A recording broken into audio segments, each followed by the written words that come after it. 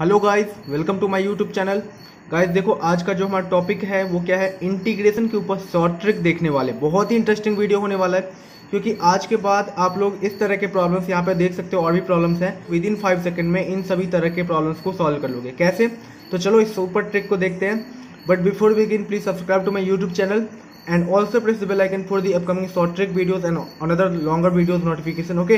So let start the video तो guys देखो, आप लोग इस सुपर ट्रिक को समझे। इससे पहले क्या करते देखो, एक क्वेश्चन मैं अपने सुपर ट्रिक से करता हूँ और आप लोग अपने ट्रेडिशनल मेथड से करो और देखते हैं दोनों में पहले कौन सॉल्व करते हैं ओके फिर हम लोग क्या करेंगे? इस सुपर ट्रिक को देखेंगे ओके सो लेट स्टार्ट देखो, इसका जो आंसर हो जाएगा, वो क्या हो जाएगा? बहुत ही सिंपल है।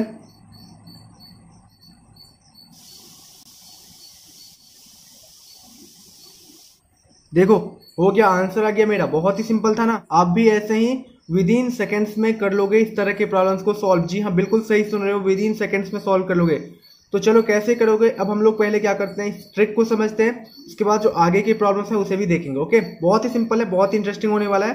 वीडियो को पूरा देखोगे तो आप लोग को इंटीग्रेशन में बहुत सारे इंटीग्रेशन के ऊपर मैं ट्रिक बना चुका हूँ। तो इसलिए आज एक नया ट्रिक है, वो देखते हैं ओके तो चलो, पहले इस सुपर ट्रिक को समझते हैं, फिर क्वेश्चन करेंगे।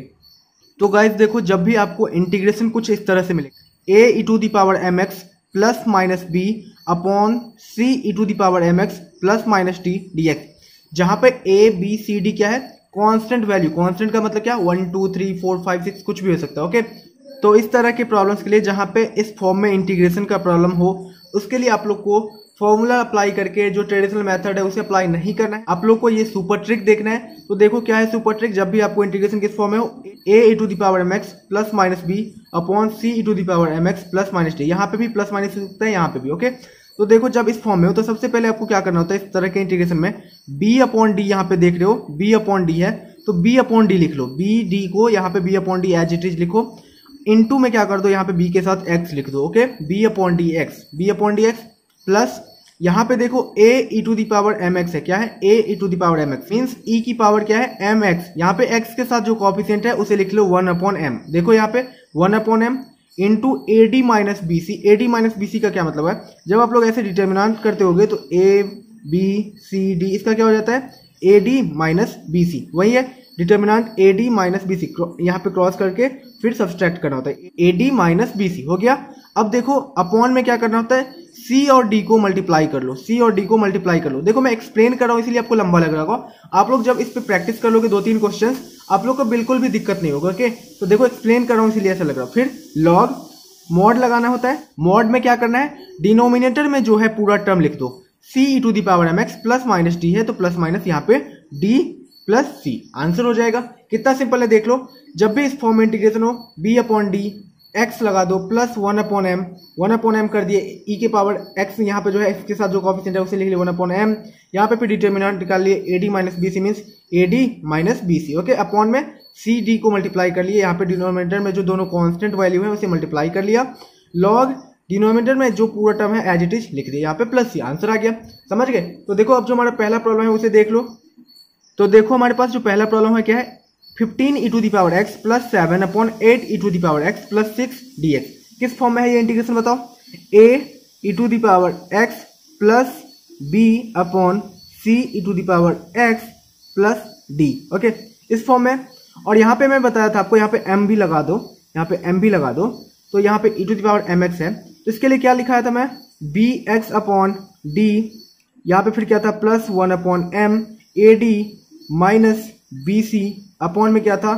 सी डी लॉग डिनोमीटर में जो था, पूरा उतार दो। C to the power M X plus D plus C यही था।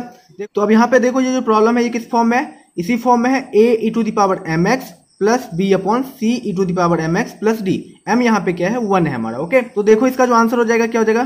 बी अपॉन डी तो बी हमारा सेवन डी हमारा सिक्स तो seven by six X plus है तो यहाँ पे प्लस लिखना है। तो यहाँ पे प्लस यहाँ पे देखो one by M one by M का मतलब क्या है? वन अपॉन एम एम यहाँ पे क्या है? E to the power M X यहाँ पे वन है तो वन बाई वन वन ही होगा। ओके? फिर A D minus B C upon C D A D का क्या मतलब हुआ है? फिफ्टीन सिक्स जा ए ये हमारा ए है, ये बी है, ये सी है, ये डी है। A D means fifteen six जा ninety minus B C eight seven जा फिफ्टी सिक्स तो ninety minus fifty six thirty four upon में क्या हो जाएगा बताओ? फोर्टी एट क्योंकि एट सिक्स जा सी डी है। ओके अब यहाँ पे कैंसिल आउट भी कर सकते हो, आप लोग अगर करना चाहो तो। और उसके बाद लॉग डिनोमीटर में जो है पूरा मैं उतार दिया ओके सिंपल था। अब देखो इसी तरीके से नेक्स्ट जो प्रॉब्लम हो क्या जाएगा? एट बाई फाइव क्योंकि यहाँ पे बी बाई डी है X plus one by M M यहाँ पे क्या है? E to the power M X तो one by three A D minus B C का क्या मतलब है? नाइन फाइव जा forty five minus eight three जा ट्वेंटी फोर तो forty five minus twenty four कितना हो जाएगा बताओ? ट्वेंटी वन अपॉन में कितना हो जाएगा बताओ? सी डी तो सी डी का मतलब ये हमारा ए बी सी डी है। सी डी हमारा क्या है? फिफ्टीन लॉग यहाँ पे डिनोमिनेटर में जो पूरा है, लिख दो three E to the power three X plus five plus C okay अब देखो यहाँ पे, ये तो मैं लिख लिया। अब यहाँ पे आप लोग कैंसिल आउट भी कर सकते हो कि थ्री सेवन जा, यहाँ पे सेवन बाई फिफ्टीन कर सकते तो जब भी आपको इस तरह के प्रॉब्लम्स दिखे कॉम्पिटेटिव एग्ज़ाम में बहुत ही सिंपल होता है कि आप लोग को ये करना, लिखना तो है नहीं। बस ऑप्शन देखोगे, इस तरह के प्रॉब्लम से ओके लगा दिया आंसर ओके लेकिन जब आपको लोग को सॉल्व करना है सब्जेक्टिव प्रॉब्लम्स को, तब आप लोग क्या कर सकते हो, अपने ट्रेडिशनल मेथड से सॉल्व कर सकते हो, और साथ में क्या कर सकते हो, इस ट्रिक को अप्लाई करके आप अपना आंसर चेक कर सकते हो। ये है बोर्ड एग्ज़ाम्स वालों के लिए। जो कॉम्पिटेटिव एग्ज़ाम के लिए कर रहे हैं, उनके लिए ये ट्रिक बहुत ही हेल्पफुल होगा ओके तो देखो अब हमारे पास जो नेक्स्ट प्रॉब्लम वो क्या है? देखो हमारे पास नेक्स्ट जो प्रॉब्लम है क्या है? Minus five E to the power six X plus five upon four E to the power six X plus nine D X okay बहुत ही सिंपल है ये भी। किस फॉर्म में है? A E to the power M X plus B upon A हमारा है माइनस फाइव बी हमारा है फाइव सी हमारा है फोर और डी हमारा है नाइन तो क्या हो जाएगा बताओ? ये हो जाएगा बी एक्स अपॉन डी तो बी हमारा है फाइव बाई नाइन क्योंकि बी बी अपॉन डी हो गया X plus one by M one by M हमारा क्या हो जाएगा? वन अपॉन एम क्या है यहाँ पे? Six E to the power M X तो एम हमारा क्या है? सिक्स है। तो वन बाई सिक्स ओके अब क्या हो जाएगा? A D minus B C A क्या हमारा? Minus five into nine minus forty five और यहाँ पे माइनस बी सी है. तो माइनस ट्वेंटी तो minus forty five minus twenty कितना आ जाएगा बताओ? माइनस सिक्सटी फाइव ओके ये हो गया हमारा. अपॉन में क्या आ जाएगा? सी डी सी डी का मतलब नाइन फोर जा थर्टी सिक्स लॉग लगा दो. मॉड लगा दो. जो है पूरा नीचे लिख दो. Four E to power six X plus nine plus C answer हो गया. तो सिंपल था. बहुत ही इंटरेस्टिंग ट्रिक है. इस तरह के प्रॉब्लम्स आते हैं. कॉम्पिटेटिव एग्ज़ाम्स में, और आपके लिए बहुत ही हेल्पफुल ट्रिक है। आप लोग बोर्ड एग्ज़ाम्स में भी इसकी मदद से, अगर आपको एमसीक्यू मिल रहे हैं तो फिर तो बहुत ही सिंपल है आप इस ट्रिक को अप्लाई करके सॉल्व करके बता दो। और सब्जेक्टिव मिल रहे हैं तो सॉल्व करो, और उसके बाद इस ट्रिक को अप्लाई करके आप अपना आंसर चेक कर सकते हो। ये भी बहुत ही इंटरेस्टिंग हो सकता है ओके देखो, आप लोग के लिए एक प्रॉब्लम है। इसे आपको सॉल्व करना है और सॉल्व करके आपको इसे कमेंट सेक्शन में इसका आंसर बताना है। ओके बहुत ही हेल्पफुल है। अब बताओगे कि इसे कमेंट सेक्शन में कैसे बताओगे? कोई बात नहीं, आप लोग कर लेना और ये बता सकते हो कि हाँ ये मेरा आंसर सही है या गलत है।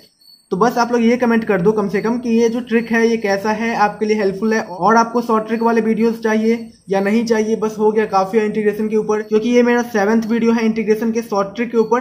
और सारे वीडियोस आपको प्लेलिस्ट में मिल जाएँगे। बहुत सारे चैप्टर्स के शॉर्ट ट्रिक वीडियोस में अपलोड कर चुका हूँ। Already more than 25 five videos मैं अपलोड कर चुका हूँ शॉर्ट ट्रिक वाले। और भी करूँगा, अभी बहुत सारे ट्रिक मैं अपलोड करने वाला हूँ। So I hope you have enjoyed this video if yes then please subscribe to my YouTube channel and also press the bell icon for the upcoming video notification so thank you for watching this video bye bye